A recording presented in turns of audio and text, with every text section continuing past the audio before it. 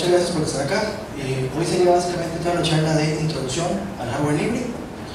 Eh, primero que todo, una pequeña introducción. Mi nombre es Álvaro Figueroa. Ah, perdón, más la agenda primero. Eh, primero que todo, una introducción. Luego, eh, contarles un poco qué son FPGAs. Luego, qué son microcontroladoras libres. Ya hablamos un poco de eso. Y no sé si nos va a dar tiempo, pero por lo menos sería hablar muy rápido de lo que son eh, radios utilizados en, en, software, para que podamos tener una idea de lo que eh, Les decía, mi nombre es Álvaro Figueroa. No me gusta mucho definirme como un informático, sino como un polímata. Yo tengo muchos hobbies, eh, no sé, me gustan muchos, muchas cosas aparte de la informática. Eh, entre ellas privacidad, porque este tema que estaba hablando ahorita estaba muy, muy interesante. Eh, y bueno, desde que vengo comenzando con, esta parte de software libre, por allá más o menos del año 99, vengo trabajando con Linux, eh, ahora tiré con, con Alpha. Eh, y desde que hemos comenzado, eh, pues básicamente vengo trabajando con el grupo de Linux, fue el master, eh, manejé el sitio web durante bastante tiempo, eh, trabajamos en, con bastantes charlas pues, para traer a, a Richard Stallman, a Phil Hughes, un montón de gente que estuvo por acá en Costa Rica. Eh, hace mucho, mucho tiempo tuve una distribución basada en Slackware, era una distribución basada para máquinas de tipo Spark, lo antes, hace mucho tiempo, era la máquina de, de perdón, la marca de Sun, Sun Microsystems. Entonces tuve una distribución basada en, Slackware para esta arquitectura. Eh, tengo un poco de experiencia en la lista de kernel, por ahí metido eh. Eh, tuve mis peleas hace mucho tiempo con Alan, eh, con Alan Cox, también de cosas basadas en, en, Spark. Y hasta el día de hoy yo creo que estoy teniendo razón en lo que, lo que nos peleamos hace mucho tiempo. Eh, también hace bastante, pero bastante tiempo trabajé con lo que es el, el, el sistema de archivos de XFS, de la gente de eh, Silicon Graphics, que ellos lo vienen portando hacia Linux hace bastante tiempo. Entonces, cuando estaba comenzando apenas con software, yo también les ayudé un poco a lo que era ese control de calidad en Spark, que estaba bastante, bastante contento. Y vean que pues ya hoy en este software, eh, perdón, el sistema de archivos principal que usa la gente de Reddit. Eh, decir que solo soy de software libre, de hecho yo no sé absolutamente nada de, Windows, de Microsoft, de otro montón de, marcas, eh, cosas como Cisco también me un poquillo, la verdad no, no, es, no lo mío.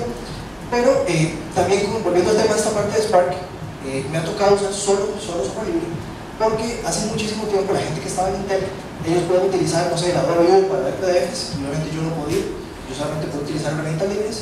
Entonces, eh, ahora estamos haciendo algo muy parecido con el Pi, ¿verdad?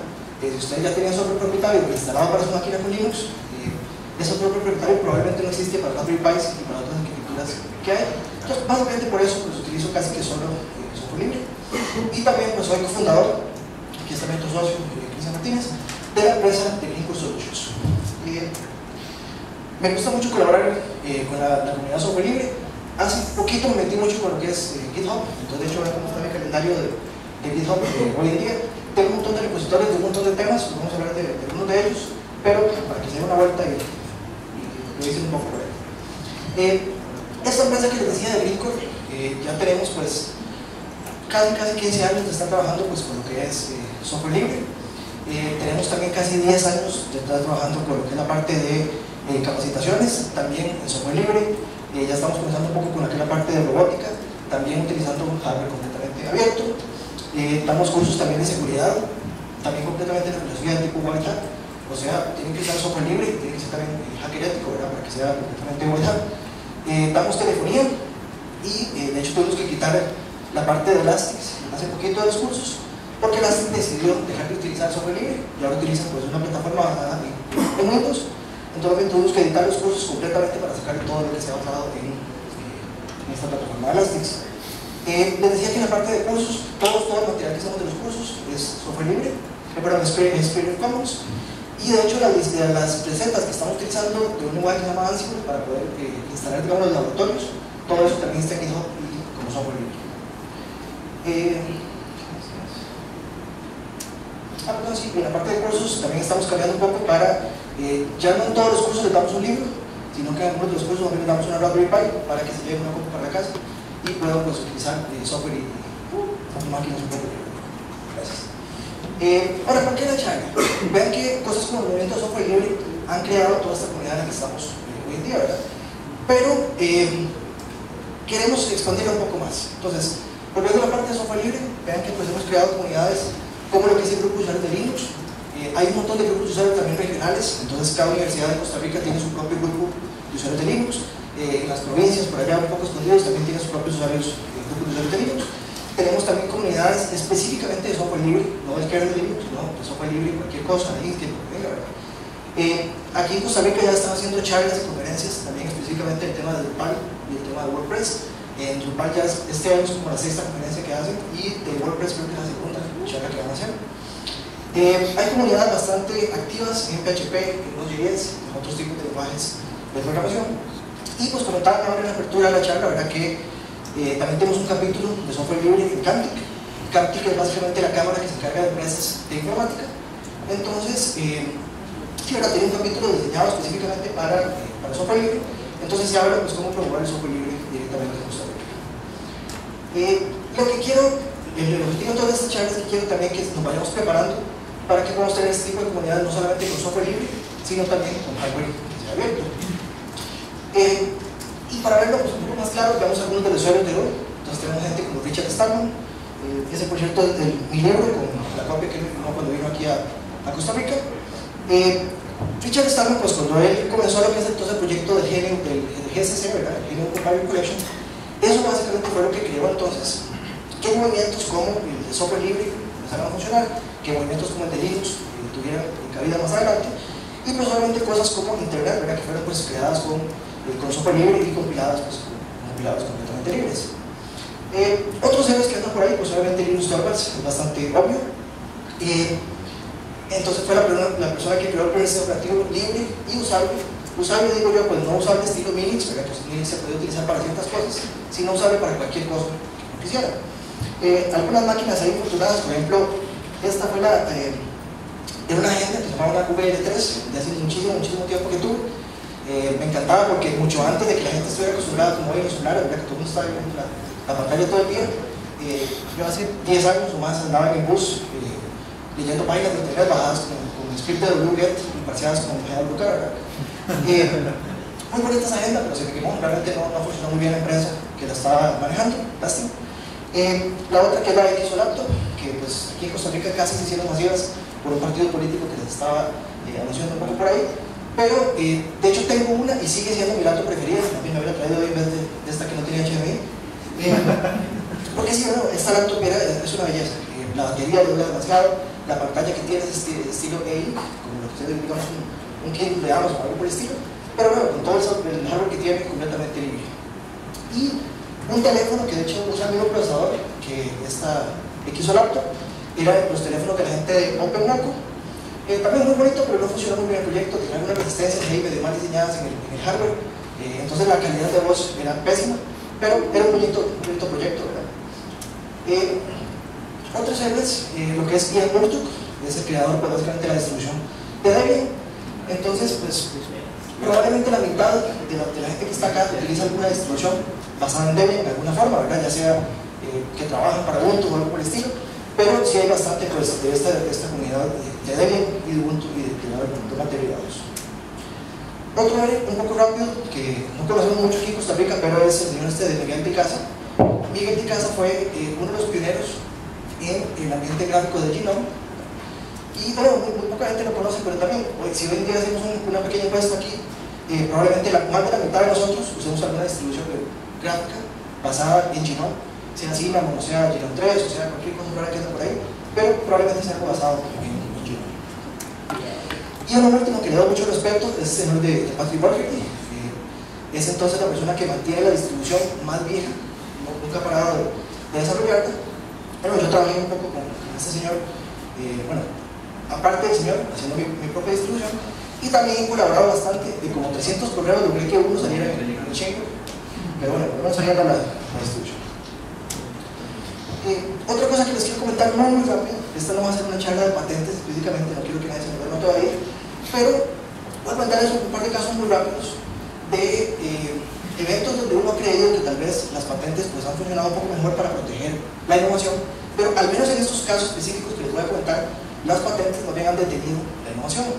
Entonces todo el mundo cree que los hermanos Wright pues, fue digamos, los, los pioneros en, aviación y cosas por el estilo, eh, pero sucede que donde los hermanos Wright inventaron el método que ellos hicieron, que básicamente era para poder eh, torcer el ala, y torciendo el ala pues darle dirección, eso ellos lo patentaron y nunca le vieron el valor comercial. Entonces básicamente ellos dijeron, no, no le vamos a dar licencia a nadie más y no queremos que nadie más haga esa cosa de la aviación porque es una cosa rara y la verdad eso nadie le da pelota. Eh, luego tuvo que venir este señor que se llamaba Glenn Curtis y tuvo que inventar una nueva forma de, de, darle dirección a un ala y lo que crea básicamente lo que se llama el ala pequeño, ¿verdad? o el alerón entonces solamente una pequeñita parte del ala que se torsiona para que no se hagamos todo el ala y con eso se brincaron la patente. Ahora, uno creería que porque este señor se pudo brincar la patente, él iba a ayudar a otra gente a que, utilizara las patentes, pero no, de hecho también eh, no quiso licenciarla eh, a otras personas.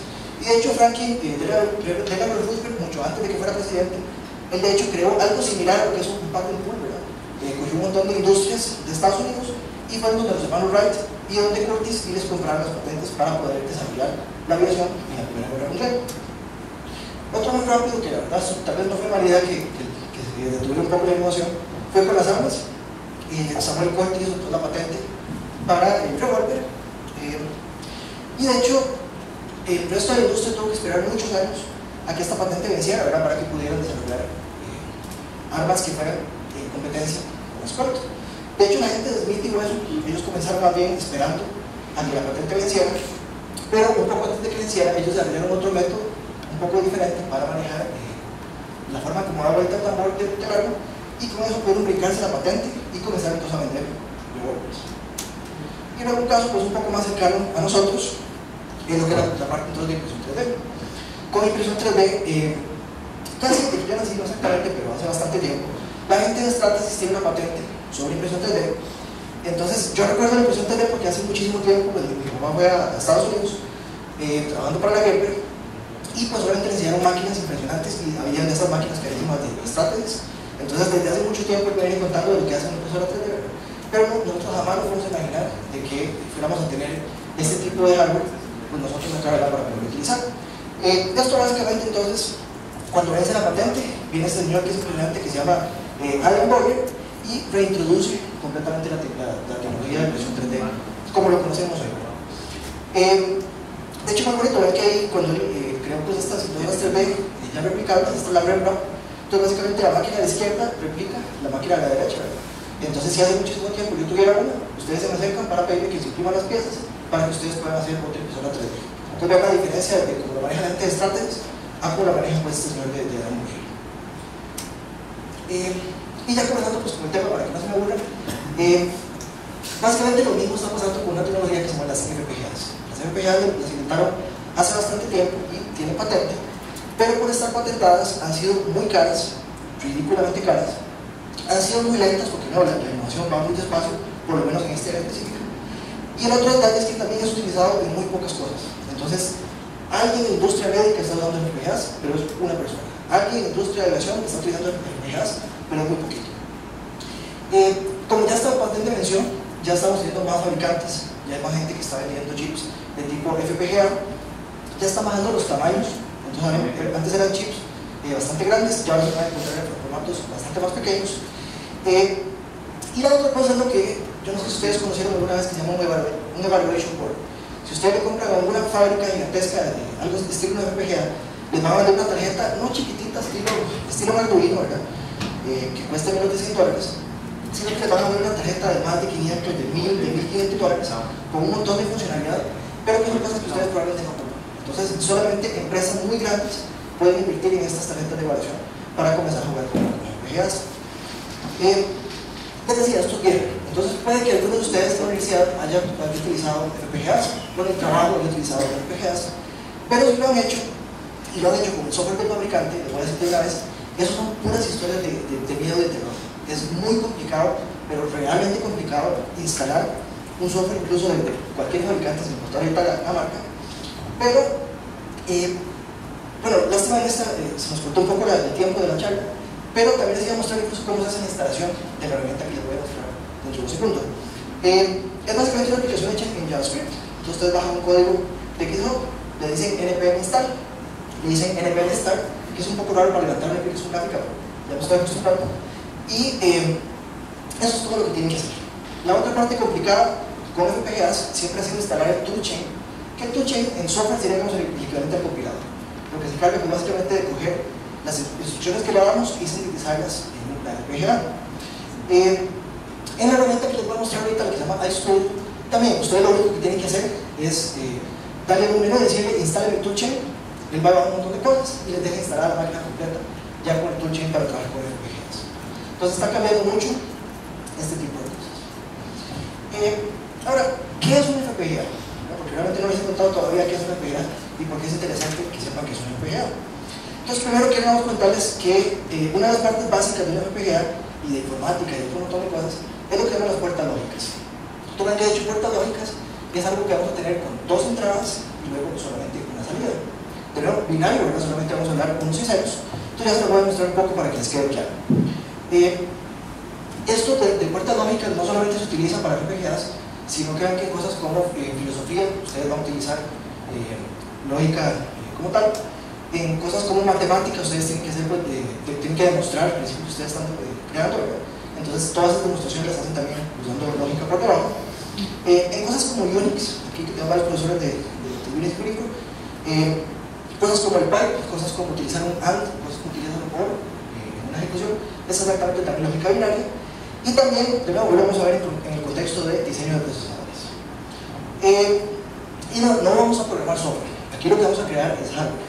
Entonces, lo que les voy a mostrar dentro de un segundo es exactamente lo mismo que pasa dentro de una FPGA, solo que ustedes no tienen que tocar ningún cable, sino que pasa de forma automática. Eh, y la otra cosa es que algunos problemas que en hardware son, pero en software, son muy complicados, en hardware son ridículamente fáciles. Por ejemplo, si ustedes alguna vez les ha tocado con Arduino, tratar de hacer dos tareas a la vez, hacer paralelismo, pues es muy complicado, ahora tiene que ser introducciones y ya probablemente se va un poquito complicado el, tema. Con FPGA no. Con FPGA ustedes simplemente tiran, eh, hacen dos circuitos, básicamente dentro del FPGA, y ya ustedes resuelven, eh, fácilmente el problema de, de paralelismo. Pero lo que les quiero enseñar que son eh, estas puertas lógicas es con este producto de un señor que se llama Dave, eh, de una página que se llama Tilly. Tilly, si no lo han visto, muy bonito porque la gente va a construir cualquier hardware para ellos y lo venden para otras personas. Entonces, eh, hay un montón de productos muy raros, desde radiofrecuencias hasta un montón de cosas que la gente está haciendo para ellos mismos, pero que podrían tal vez ser interesante para ustedes. Este que les traigo acá, básicamente son la idea de las puertas lógicas. Entonces, aquí está el, el diagrama, el símbolo que se utiliza en la puerta lógica pero estas como tal están bien hechas para breadboard, porque breadboard es lo que uno utiliza cuando está usando Arduino cualquier tipo de, cosa electrónica para hacer prototipos. Eh, entonces, para demostrar ese concepto, lo que les traje básicamente es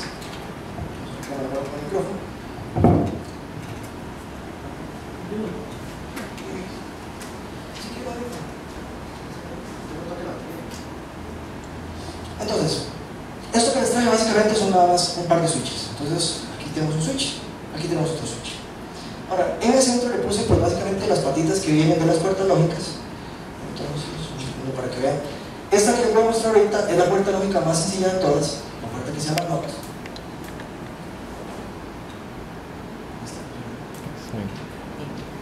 Ah, ¿dónde está? ¿Dónde está?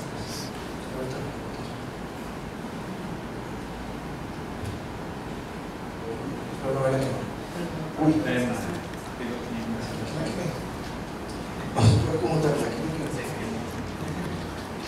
Bueno, pero entonces básicamente esta puerta que se llama NOT, eh, lo que hace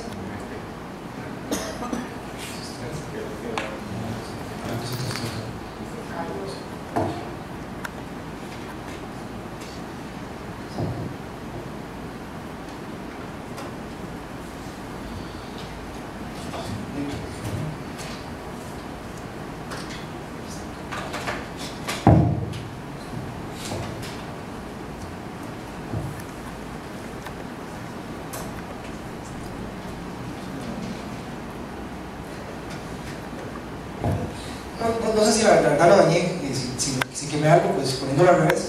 Pero eh, lo que les quería mostrar básicamente, entonces, ustedes tienen dos, eh, dos switches de un lado y en la primera puerta lógica, que es la que se llama NOT, ustedes, sin importar lo que ustedes le manden, entonces ustedes le mandan un 0, él le va a dar vuelta al valor, y si ustedes le mandan un 1, le da vuelta al valor. Entonces, con esta demostración la idea era que pues, básicamente ustedes conectan la, la puerta del gate de NOT y la luz va a estar prendida aunque ustedes no le pongan el switch y apenas ustedes prenden el switch se apaga la puerta. No siempre va a tener el inverso a lo que uno tiene básicamente como funcionan los papás.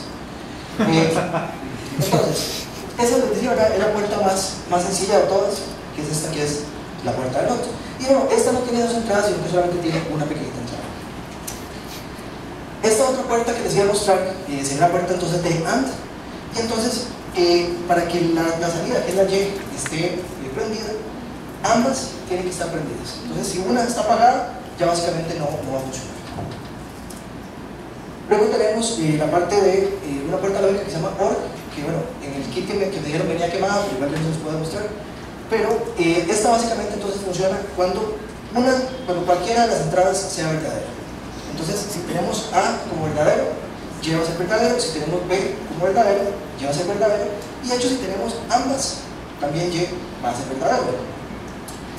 Hay una más que les voy a explicar, que es la que se llama un OR exclusivo o un XOR, y por cierto, esto es muy importante porque es, eh, se utiliza muchísimo en, en, computación, sobre todo, vean qué cosas como, digamos, un RAID 5, que es lo que ustedes utilizan pues, para, para eh, conectar varios discos duros y que sean como una sola unidad y que no se les queme.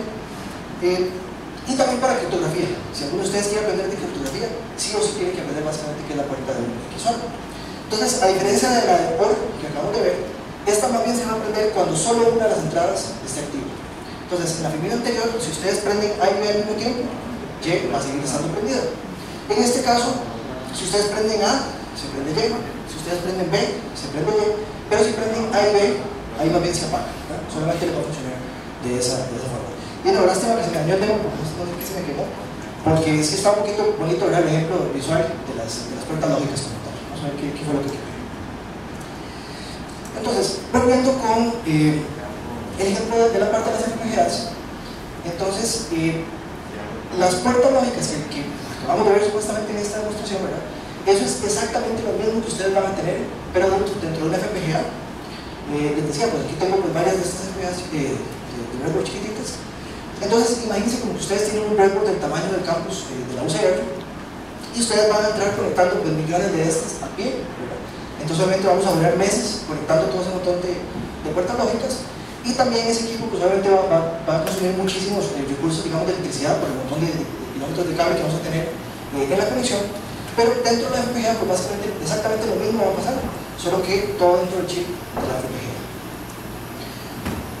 una forma de, verlo o para ver el mismo demo que hicimos ahorita pero eh, básicamente pues eh, ya en software ya en FPGA esto que estoy haciendo acá por cierto no es un diagrama no es que yo me senté con algún software estilo DIA es un diagrama para que en la presentación sino que de hecho este es el software exacto con el que se programa. Entonces, así como yo vendría con una breadboard, yo conectaría unas cuantas gates de tipo AND para hacer un circuito. Eh, en este lo voy a hacer básicamente entonces en este software que se llama Ice, eh, iStudio, ya casi lo vemos. Entonces en este caso aquí tenemos un 0 y un 0, la misma idea de los switches, en este caso los switches estarían apagados, lo pasamos por una puerta de tipo AND y vamos a enviar básicamente al LED número 1 de la FPGA. Hacemos lo mismo con 0 y 1, con 1 y 0 y con 1 y 1. Entonces, recordando que ese es el gate de AND, ven que solamente la última que está ahí, la que dice 1 y 1, es la que realmente va a prender la luz. Y si vamos a una FPGA, que ya casi va a mostrar un poco más de detalle, esto es básicamente lo que nosotros vamos a ver. Entonces, de hecho, ven que yo, eh, los LEDs en 1, 2, 3, 4. Y eso es porque dentro de la FPGA, básicamente son la luz 1, 2, 3 y 4 como les decía. Entonces básicamente 1, 2 y 3 van a estar apagados porque tenemos un gate de y en, en, la, en la última, que era el número 4, que le pusimos 1 y 1, ahí entonces que si la, la la tenemos prendida. ¿Okay? Bueno, les dije entonces que las CPAs como tal vienen desde hace mucho tiempo. Entonces realmente ¿qué es lo que cambia? Nada más la patente o realmente hay, hay algo acá. Y es que este señor que se llama Clifford, eh, él básicamente se sentó con FPGAs eh, de, un fabricante específico, que es la marca Lattice, el modelo de ICE 40 y él básicamente creó todo el software libre necesario para poder utilizar ese, ese FPGA. Entonces decía, eh, solamente lo hice para uno de los modelos. Luego vino este señor que se llama Jesús Arroyo, que es de España, y él creó esta herramienta que es la que vamos a ver, que se llama la de ICE Studio.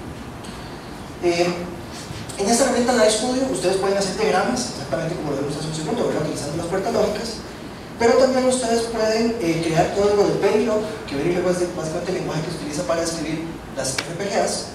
Entonces ustedes pueden hacer de las dos cosas dentro del mismo software.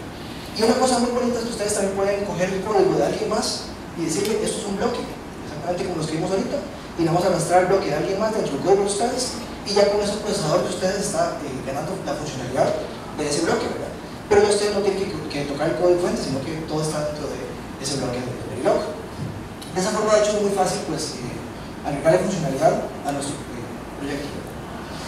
Luego, en España, en Europa en general, hay una comunidad muy importante, que es la comunidad que se llama la de FPGA Wars, y de hecho esta comunidad de FPGA Wars les dio miedo que se les acabaran estas, estas FPGAs que la que tengo acá, entonces, de hecho, ellos fueron y crearon su propia FPGA. De hecho, esta tiene cosas más bonitas que la que yo tengo. Por ejemplo, estos verdes que vemos aquí a los lados, de color negro, rojo y blanco, son propios para conectar ceros. Entonces, ya ustedes pueden hacer pues, cierto tipo de robótica. Eh, y también vean que tienen el formato de una tarjeta de tipo Arduino. Entonces, ustedes también pueden coger chips que ya tienen funcionando con Arduino y conectárselos y ver cómo hacerlos para que funcionen, pero programando entonces ahora sí a nivel de CPU y no a nivel de software. Eh, entonces ahora sí va, a ser un, pequeñito demo con lo que es la tarjeta esta de, de la iStick. Eh, les decía entonces que por ahí está mi cuenta de, GitHub, y ahorita a la salida les muestro un poco los, contactos, pero eh, ahí tengo un repositorio que se llama FPGA Playgrounds. En ese repositorio lo que estoy tratando de escribir no son ejercicios complicados de FPGAs, sino que más bien es las cosas más básicas que nos ocupan para entender esto. Entonces, de hecho, en la parte está de puerta lógica, digamos que sería la primera lección, entonces ahí viene pues, una pequeñita lección de puertas lógicas. Luego entramos a un tema que es muy importante, que es de manejo de relojes. Entonces ahí pues entramos eh, ya con un poquito de lo que es el código de Verilog. Y en esta semana les voy a estar subiendo pues, dos, dos lecciones más para que también pues, puedan ir avanzando pues, un poco en los diferentes conceptos de, de, ¿cómo se llama? de, Verilog y de las CPAs aquí. Eh, ¿Qué más? Entonces quiero mostrarles un pequeñito video.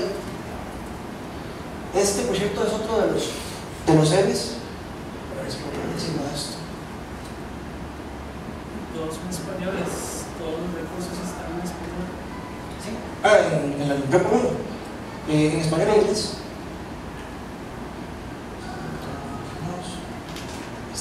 Entonces, este es un video muy pequeño. Eh, básicamente todo ya de robótica utilizando FPGAs. Entonces me da un segundito. Yo cuando estaba comenzando con esta de las FPGAs fue simplemente como buscar, mira, una alternativa a Arduino. Hay, hay cosas diferentes que uno puede hacer que con Arduino sea muy complicado. Pero este señor que se llama Oli Juan, él eh, también pasa desarrollando muchísimo hardware libre, muchísimo software libre. De hecho, este case que tengo acá para la FPGA, él lo hizo. Bueno, de hecho, tuve que modificar.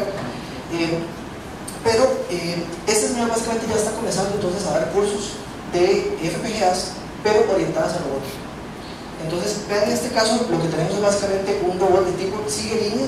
Entonces, básicamente tiene unos pequeñitos eh, que van a detectar la línea. Y vean que básicamente el robot solamente se va a mover cuando detecte la línea.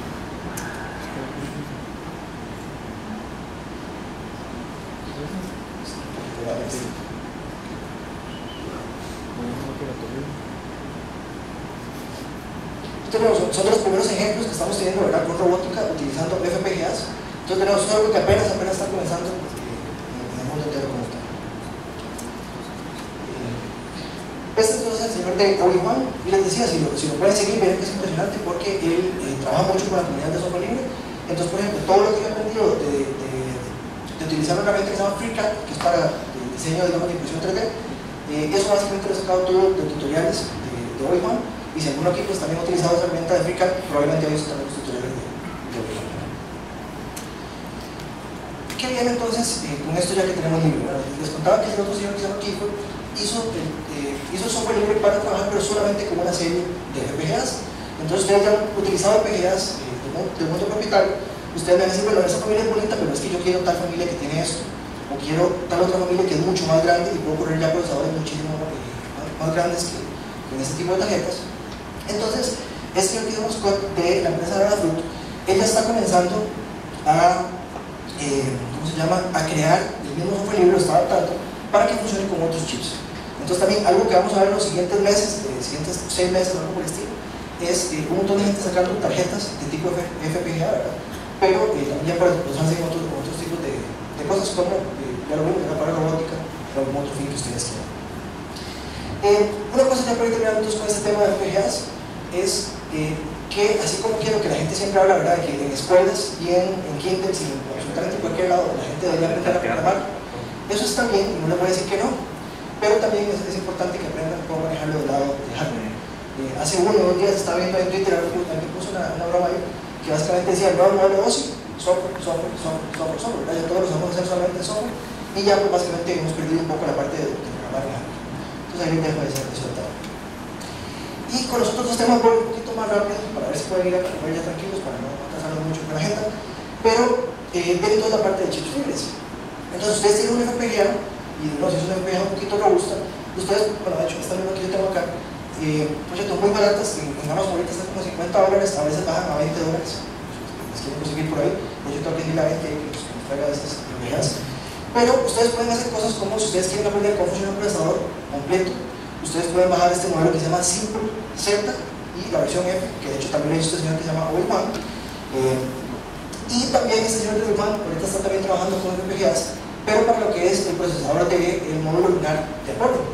Entonces, si ustedes les gusta toda esa parte de, de, historia espacial y todo eso, ustedes pueden bajar eh, la receta, digamos, que se utiliza como módulo lunar. Y retomando este tema de drones, imagínense lo bonito que sería que ustedes puedan hacer un drone que utilice el mismo código, digamos, que el módulo lunar para, trabajar. Eh, hay dos movimientos importantes, el de libre cores y el de open cores, está creando pues, componentes pequeñitos. Entonces, ustedes ya tienen un FPGA, ustedes pueden descargar un componente de Ethernet, un componente de USB, un componente de, de, VGA, un componente de HDMI, ¿verdad? arrastrarlos en, en sus FPGAs y luego subir básicamente pues ya un chip completo ¿verdad? que tenga toda esa funcionalidad. Y eh, como eso ha ido pues, avanzando bastante rápido, la gente de, eh, de esta empresa que se llama eh, Sci-Fi eh, es una de las primeras empresas que ya está básicamente creando silicón, pero silicón personalizado. Entonces, pero ustedes pueden coger la FPGA, subirle todos los, los módulos que ustedes les gusten y ya cuando ustedes van a salir al mercado, ustedes básicamente van a una empresa de estas, eh, que por cierto está la gente de Sci-Fi en Estados Unidos y también la gente de eh, One Chip en Colombia. Ellos trataron de hacer eh, un proceso, pero no les, no les salió. Pero eh, la que sí tenemos es básicamente, ¿verdad? Esta que es la, la gente de, de Hi-Fi, que es la que se llama la Freedom One. Entonces es una tarjeta similar a un Arduino, eh, hay cosas que no tiene, hay cosas que la hacen muchísimo más rápido que Arduino, entonces tiene sus ciertas ventajas y desventajas, pero bueno, ahorita está solamente como una demostración del chip. Eh, y entonces ven que ya básicamente está saliendo lo que es el, mercado de chips personalizados. Entonces, si viene un cliente y le dice, es que me gusta mucho este chip, pero le falta esto, o le sobra esto, entonces ustedes pueden eh, básicamente modificarlo muy fácil, ponerlo en la FPGA, hacer todas las pruebas que sean necesarias y luego pedirle al fabricante que les, les haga ya como tal el silicón y comprar silicón y hacer sus tarjetas para sus proyectos. Eh, y esta parte va entonces súper super rápido lo que es el movimiento de Arduino está teniendo ciertos problemas. Por ejemplo, ellos se pillaron hace unos años, ya se contentaron de nuevo, pero eh, cuando se contentaron, por ejemplo, prometieron que iban a soltar una fundación para que si tenían problemas a futuro, la comunidad no se viera afectada. Eh, esa fundación no sabe qué pasó. Están sacando tarjetas nuevas que dicen en la cajita que son open source, pero usted va y busca en algún lado por dónde está la información de esa tarjeta y no la han sacado todavía. Y la comunidad ya le está haciendo presión y también este fabricante de Afro, que en Estados Unidos es bastante grande, también está haciendo presión, pero no aparece nada. No, no dicen en ningún lado eh, si van a darnos pelota o no van a dar pelota. Entonces, ahorita, pues, también es posible que Gringo tenga que hacer lo que hicimos con el curso de Elastix, quitar todas las referencias a Arduino porque ya básicamente ya no serían eh, software libre o hardware libre en este caso. Alternativas que puedan utilizar, aquí andan como 20 millones para que, para que un poco. Entonces, por ejemplo, lo que es la serie de microbits, eh, lo que es el microbit también es muy interesante, es una tarjeta hecha por la ABC de Londres. Eh, hay tarjetas como esta, que es la FEDER de Adafruit, que lo bonito es que tiene una cantidad ridícula de sensores y de luces y un montón de cosas ya integradas. Entonces, para utilizarlos, usted no le el cable USB y no tiene que utilizar un breadboard o tener que sentarse pues, con mucho tiempo para explicarle a la gente cómo, cómo utilizar un breadboard y cómo conectar cables y cosas que se les pueden quemar con el también tiempo. Eh, tienen unos chips, los chips que son básicamente los de SAM de 21 de hecho, la gente de, de Ciencia Cibernética me regaló esta tarjetilla que está acá. Y esto básicamente entonces es un chip, eh, la nueva generación de los chips que ya utilizan Arduino. Entonces siguen siendo compatibles con Arduino. Si ustedes ya conocen Arduino, pueden sacar el mismo software y decirle, suban el código que ya habían utilizado con Arduino antes. Eh, pero esas tarjetas ustedes también pueden correr con lo que es eh, con MicroPython, con CircuitPython, que es la versión de Python de la gente de Apple. Y también vean que lo pueden correr con un lenguaje que se llama PXT, que es de la gente de Microsoft que ahora estamos hablando un poco, que es un poco raro ¿verdad? que en este tipo de eventos esté hablando de Microsoft, pero más bien Microsoft ha cambiado muchísimo, entonces ahorita le muestro una herramienta eh, muy bonita. Y también hay otros tipos de placas, por ejemplo, una placa que una familia de placas que se llaman de las ESP, están las, las ESP866 y las ESP32.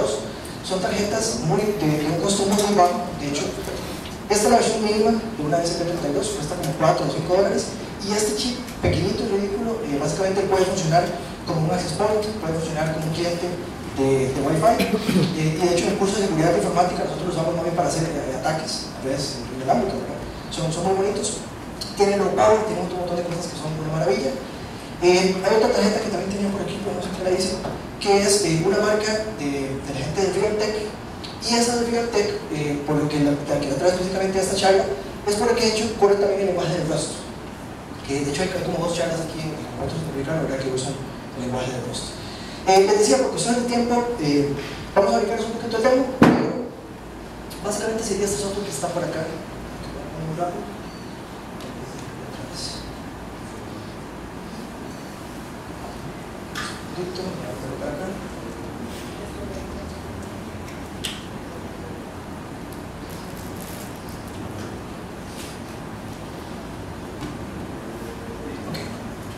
Entonces, esto que tengo acá es el lenguaje de PXT de la gente de Microsoft. Ustedes lo que hacen es que simplemente conectan la tarjetilla eh, por USB. Eh, él tiene un emulador, entonces no hace falta ni siquiera que yo conecte la tarjeta para empezar a aprender y para empezar a utilizar este tipo de cosas, sino que le digo shake y él básicamente me va a correr el, el, software que yo tengo definido, digamos, del lado izquierdo. Entonces, en este caso ven que es un lenguaje eh, pensado para bloques, ¿verdad? Entonces, también para que aprendan a programar eh, chiquitos o psicólogos, en el caso de Carlos, que no programa todavía. Eh, y si ustedes me dicen, bueno, es que bien yo soy del lado web, yo lo que programo es JavaScript, vean que también desde el mismo tipo de editor, ustedes pueden transformar del código de PXT a JavaScript, también de una forma muy sencilla. Y siguiendo con el, con el comercial, esta tarjeta también soporta lo que es la parte de MicroPython, entonces, eh, más bien mi recomendación sería carguen MicroPython y háganlo por ese lado porque vean qué, fácil, qué bonito que es trabajar por ahí. Y les decía, todo voy corriendo un poco, pero es otro tema en la parte de software defined radio. Y esto entonces es que eh, salió una tarjeta, que es lo que se llama la, RTL, eh, también del fabricante de Realtek, que es una, tarjeta que hicieron pues, básicamente para televisión digital. Eh, todos los países que ya han hecho pues, básicamente el movimiento de televisión digital. Eh, y es básicamente esta tarjetita tengo acá, muy pequeña, ¿verdad? Con esta antena USB, también muy barata, Amazon cuesta 20 dólares o algo por el estilo. Cuando el hacker de kernel estaba tratando de ver cómo hacer un driver para Linux, él se dio cuenta que el rango de frecuencias lo podía correr muchísimo más. Entonces es una tarjeta que no solamente ve televisión digital, sino que ve un rango de frecuencias bastante más, más amplio de lo que tiene por ahí. Entonces estas tarjetas pues, se pueden utilizar muy fácil para eh, hacer exploración de todo lo que es el, el, el, el espectro era la parte de radiofrecuencia. Entonces, lo que tenemos ahorita es que el, el SDR es el que va a leer la señal de radio, la amplifica, no la codifica en digital, y luego ustedes con aplicaciones hacen el resto de la tarea. Con, aplicaciones ustedes le van a dar el significado. Entonces, algunos significados que hay, por ejemplo, ustedes pueden escuchar aviones, y bueno, este es el tema que les queremos mostrar ahorita, tal vez no en el almuerzo les puedo, puedo enseñar, pero eh, los aviones tienen un radio muy grande que se llama un transporte, donde ellos anuncian dónde están, a qué altitud, cuál es el número de modelo del avión, cuál es el número de vuelo. Y de hecho, con esta tarjetilla que tengo acá, no hay que agregar absolutamente nada más.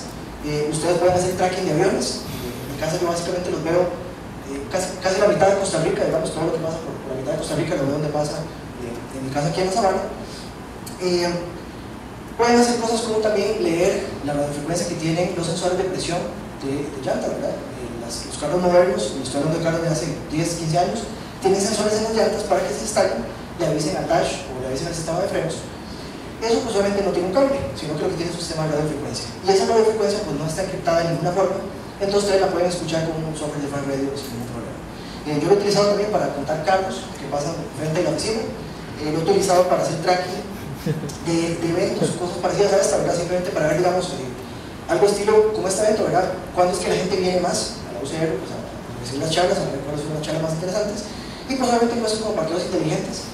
Ustedes pueden hacer un parqueo, la gente simplemente entra y sale, ¿verdad? Ustedes no tienen que darle un toque o darle ninguna cosa extraña y ya con ustedes saben quiénes son y cuánto tiempo estuvieron en el parqueo.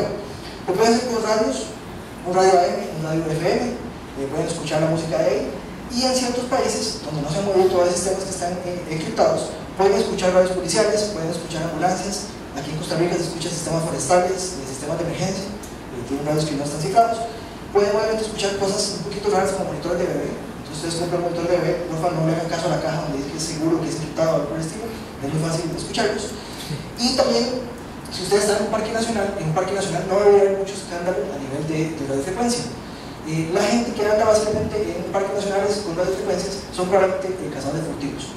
De hecho, ahorita estoy nada más iniciando, no, he ni comenzado a contactar gente, pero tengo un proyecto donde quiero buscar, eh, aquí en Costa Rica, lo que es el Parque del Coco, eh, se meten muchos pescadores ilegales.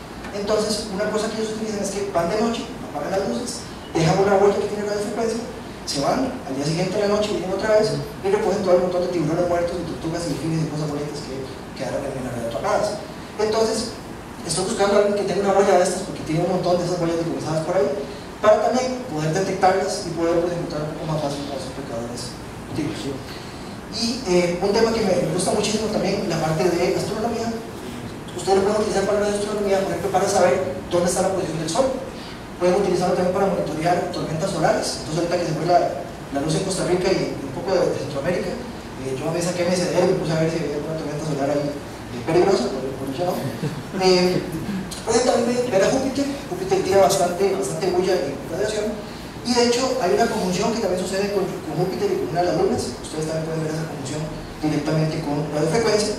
Eh, pueden, bueno, de este lado del hemisferio no sé si se puede, pero hay gente que ha también detectado unos, unos eh, hay unos alemanes que están tirando la radiofrecuencia de 10 GHz hacia la luna y eso luego rebota, entonces de hecho pueden escuchar esos, esos eh, digamos, de, de radiofrecuencia. Eh, pueden ver también, de hecho pueden hacer un mapa completo de lo que es el centro de la galaxia, con equipo muy, muy sencillo. Y la otra cosa que también usa es que eh, hace poco en Costa Rica pues, hubo una tormenta tropical bastante fuerte y eso pues pasó básicamente mientras había una lluvia de estrellas. Entonces obviamente yo no pude ver absolutamente nada de la lluvia de estrellas y simplemente saqué el, SDR y me puse a contar ahí meteoritos, ¿verdad? ya que estaba nublado clima de eh, les decía, pues un pequeño demo, pero solamente se habían aviones por ahí. Pero si estamos un poco cortos de tiempo, entonces más bien si tienen alguna duda o alguna consulta, con muchísimo gusto. ¿Para cuándo el curso de FPGAs? Eh, de pie y con el micrófono, gracias. Esa era toda la pregunta. Perdón por la molestia. ¿Para cuándo el curso de FPGAs? Entonces, lo que está en el repositorio ya está libre, ya lo pueden buscar ahí, ya pueden ver cómo funciona la puerta lógica, si blogs, y cosas y demás. Eh, de hecho, no tenemos ahorita planteado hacer un curso digamos, en grupos de FPGAs porque no sabemos cómo está el mercado, cuánta gente vaya a tener interés. Pero mínimo sí podemos hacerlo, tal vez con el Space o algo para que tenga ahí ¿Tu repo de GitHub? Uy, sí, creí que estaba alguna. Pregunta al compañero que cuál es el premio mío de GitHub. No se burlen de la foto, por favor. pero-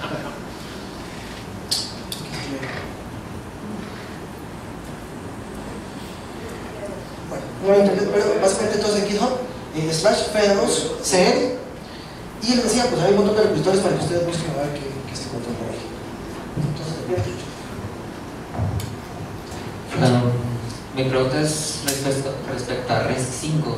¿Cómo, cómo lo miras en un futuro? Porque RISC 5 nació en Berkeley, si no estoy mal, ¿verdad?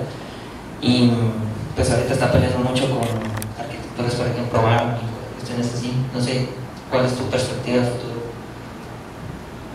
Bueno, en este caso, bien hasta ahora tenemos gente que está haciendo silicón, ya trae chips como tal en RISC-V, entonces bien es la primera vez que uno puede comprar en RISC-V. Antes, lo único que uno puede hacer es emularlo en un FPGA y jugar un poquillo con, ese chip. Eh, pero decía, bien el mercado está creciendo bastante. Más bien esta charla también es una invitación para que en Centroamérica comencemos a hablar un poco más con esto. Eh, pero decía, la gente. Ah. Ahí estaban aquí. Sí, estaba. Ahí está bien.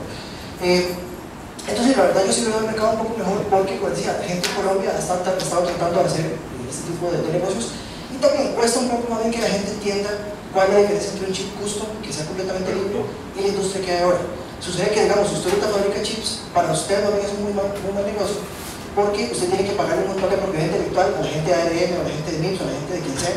Entonces, uno como fabricante siempre tiene que gastar mucho en licencias eh, de de propiedad intelectual, que para mí es un poco ridículo. Ya con esto, y les decía, la gente está de, de One Chip, la de Colombia, de hecho tienen todo su chip eh, disponible en, GitHub, ustedes lo pueden descargar.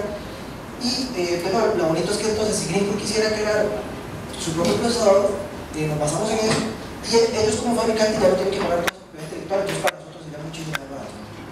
Eh, ¿Alguien más?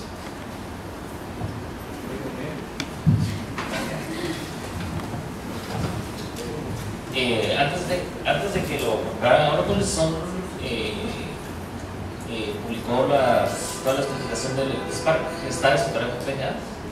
Y perdón, ¿hay eh, algún proyecto para implementar eh, dispositivos de entrada para, por ejemplo, Ether lo mencionó, capturas de video para que, por ejemplo, podamos tener control del hardware y que esté en